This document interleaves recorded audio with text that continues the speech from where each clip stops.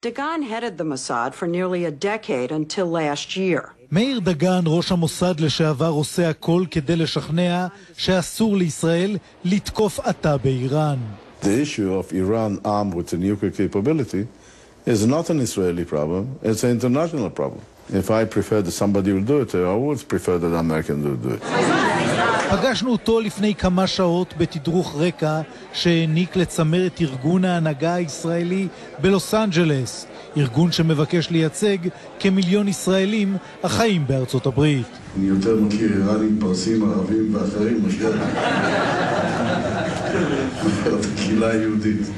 ברגע שהבחינו בנו שאנחנו מצלמים את תדרוך הרקע הזה, התבקשנו בנימוס להפסיק את התיעוד. אבל מיד בסיומו התייצבנו מול דגן וגילינו אדם שמשוכנע בכך שראש הממשלה נתניהו גמל בליבו לתקוף באיראן. א', זכותו להחזיק בדעה שהדרך היחידה היא לטפל בזה צבאי. כן. אני חושב אחרת. אבל הוא באמת מאמין בזה מההיכרות שלך איתו? לצערי הרב כן. ראש המוסד לשעבר מאיר דגן מודאג, מודאג מאוד מהאפשרות של התקפה ישראלית צבאית על איראן. לדבריו, חיל האוויר הישראלי מסוגל לעשות את העבודה, אבל לכל היותר הוא יעכב את איראן מהשגת נשק גרעיני בשנתיים, ולכן התקפה כזו, בעיתוי הזה, איננה רצויה. בתזמון מושלם כמעט שודר בזמן פגישתנו עם דגן הרעיון שהעניק לתוכנית 60 דקות ברשת CBS.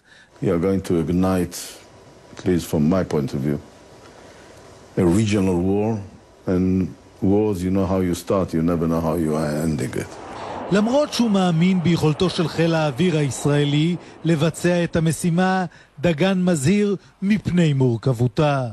There are dozens of sites. Dozens? Dozens, Not four.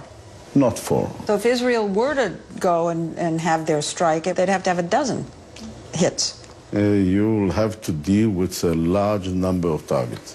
מאיר דגן הודף גם את הטענות שהוא יוצא נגד ראש הממשלה כנקמה על כך שלא הוארכה כהונתו כראש המוסד. This is payback. Payback. It's even not serious that I will reply. I have the really the great admiration to the Prime Minister uh, Benjamin Netanyahu and to Defense Minister Barak. I'm not sharing their point of view. Even in the Arab world, you know what they call you? They call you Superman for just this kind of I don't thing. have my costume. They they wanted to take out. Unfortunately, I was involved in some engagement that people were killed. Any with your bare hands? Never. I know the story. It's simply not true. דגן היה כאן אורח הכבוד באירוע השנתי של ה-ILC, ארגון ההנהגה של הישראלים החיים בארצות הברית.